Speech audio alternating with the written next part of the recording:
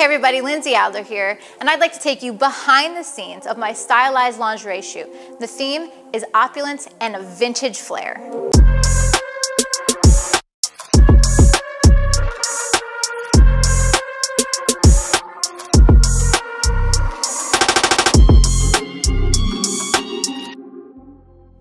Whenever someone hires me to do a boudoir or lingerie shoot, I don't take the typical approach. I'm not just photographing a model or subject on a bed in their underwear, but instead, I make it look more like a fashion shoot. And so anytime I do a shoot like that, it begins with a concept. So the concept here is the theme of opulent red on red on red with a vintage flair.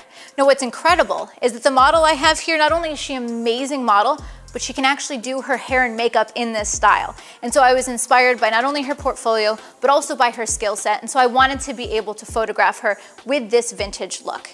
And so it's the beautiful hair and makeup, the styling, the red background, but then of course, bringing the shoot together involves beautiful lighting. So let's break down this three light setup. The first light I have here is a Magnum reflector.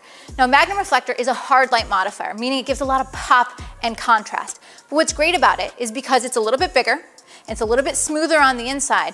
What it does is it creates a lot of contrast, but it's a little bit smoother and more forgiving on the skin. So even out of camera, her face, her skin looks incredible, and she just pops off that background. Now, speaking of the background, I'm using a Savage Primary Red background. It's one of my favorite that I use all the time for my typical red on red style. Next, however, I need to light the background. Now, I don't have to light the background if I want a really, really dark, rich red tone, but if I want to be able to control the tonality, brighten it up or darken it down, adding two lights on either side gives me that control. And in this setup, I added two small umbrellas. These white umbrellas give me the easy flexibility to make the background lighter if I choose that approach. Finally, on the right-hand side of the frame, I've added a white V-flat.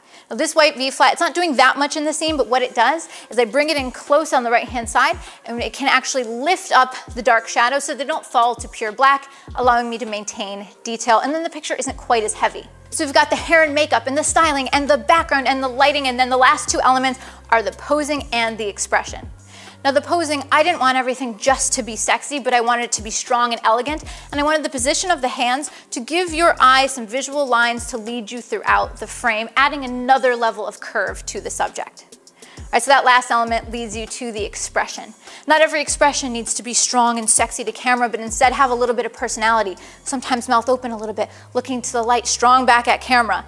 Now, I'd like to take credit for it, but it was actually the expressions were all my model, and she was incredible to work with. And one of the reasons that I love working with professional models is not only do they make my images better, but I learn from them. I learn from their posing, I learn from their expressions, and then when I'm photographing someone who's not a model, well, I can direct them and be inspired by the skills that I learned from a professional.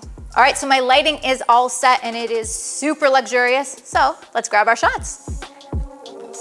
All right, so can I have this hand here? Great, and take a half a scoot this way, perfect. Perfect, and then hand down across. Great. Love that.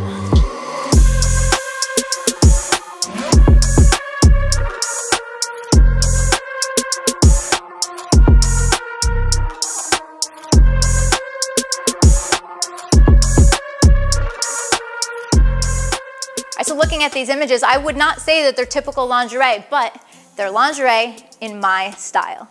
So if you want to see the gear used in this video, be sure to check out the links below and check out Adorama.com. And of course, be sure to subscribe because I have a lot more of these beautiful high fashion shoots coming your way. See you next time.